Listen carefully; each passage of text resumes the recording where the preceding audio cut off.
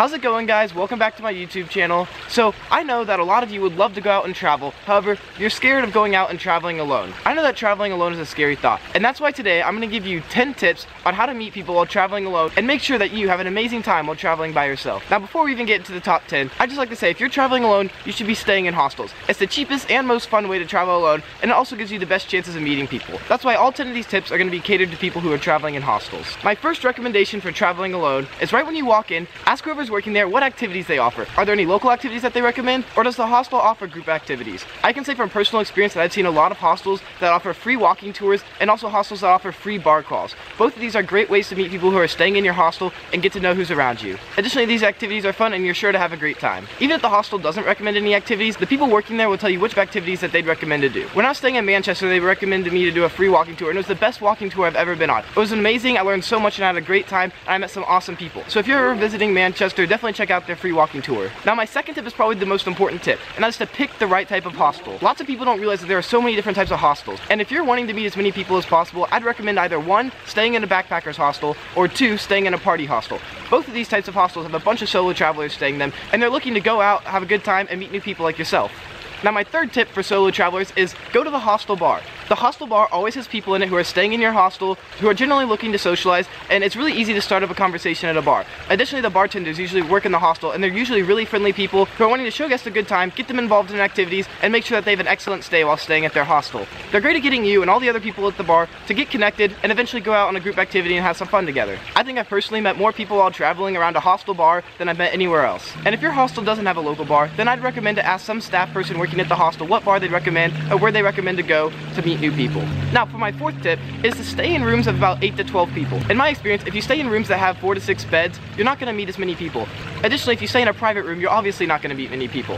However, I've also stayed in hostel rooms that have 16, 30 beds, and while I've enjoyed them, there's too many people to really meet them all, and also people don't spend as much time in their rooms when the rooms are that big. I found rooms that have 8 beds in them to be especially welcoming to meeting new people. It's the perfect size for maybe at one point during the day to have about 4 or 5 people in the room at once, and you can get talking to them and get to know them. My fifth tip for meeting people when traveling alone in hostels is go to breakfast in the morning. Most hostels offer free breakfast, but it's usually over around 9.30, 10, and with the typical hostel lifestyle of going out and staying up late, you often might be a little hungover or still tired. My recommendation is go to breakfast, meet new people, and maybe you'll spark up some good conversations and make plans with people for later in the day. If you're feeling good, then you can immediately go out, check out the city. However, if you're still feeling hungover or tired, you can go up to your room, sleep for another hour or two, and then go out and have a great day. Now, my sixth tip for traveling alone in hostels is something that you can't do at every hostel, that is to use the guest kitchen. Whether you go in there to cook your own meal or just get coffee and maybe microwave something, the guest kitchen is a great place to meet people. In a lot of guest kitchens, people are waiting for their food to cook and they're sitting around the kitchen table talking, playing cards. It's a great place to meet and talk to new people. Now my seventh tip is a little similar to the one before, but that's to hang out in the common hostel area. A lot of hostels have a common area where everyone can sit. They might have an area with board games, Jenga, a TV, maybe even like a foosball or ping pong table. Either way, these common areas are great to meet people. People are hanging out, relaxing, and usually open to talking to new people. So my eighth tip is go meet the staff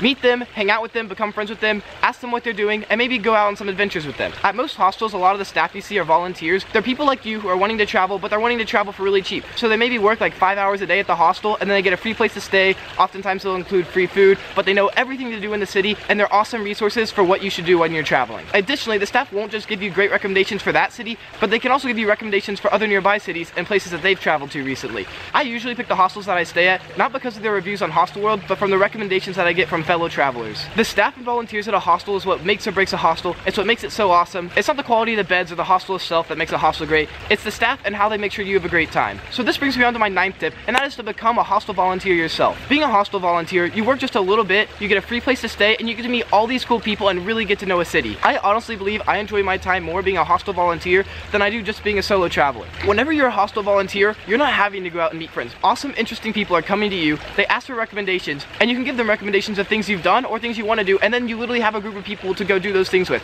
Now you're probably wondering, how on earth do I become a volunteer? And I'm gonna be completely honest with you, it's super easy. There's a couple websites you can go to that have thousands and thousands of places where you can go and stay for free in exchange for like four to five hours of work a day. They're not all hostels, but a lot of them are. My personal favorite is Workaway, and I'll link it in the description below. There's also a bunch of other websites, however, Workaway is by far my favorite and the one that I think is the best. I personally used Workaway my first time volunteering abroad, and I had an amazing time. Just this summer, I worked in an amazing hostel in Bangkok, Thailand. It's called Playground Hostel, and if you're ever visiting Bangkok, I 100% recommend it. It's not that it's that fancy, but it's that the volunteers and the staff there are like family, and they'll do everything they can to make sure you have an amazing time when you're in Thailand. I was volunteering there for a month, and we constantly had people who came, went, traveled around Thailand, and then they came back to our hostel because they liked it so much. If you want to learn more about Workaway or how to volunteer in hostels, I'm to be making a video of it shortly, and once I make it, I'll link it in the description below here. So check in the description to see that video. I'll also be making a video in the future about my time working at the Playground Hostel in Bangkok, Thailand. Now moving on to the 10th and final tip, and that is say yes. Whenever you're traveling in hostels, people are to ask you if you want to go out or if you want to go do this, just say yes. Obviously have good judgment, but if you're ever feeling tired or lazy or you just don't want to go out,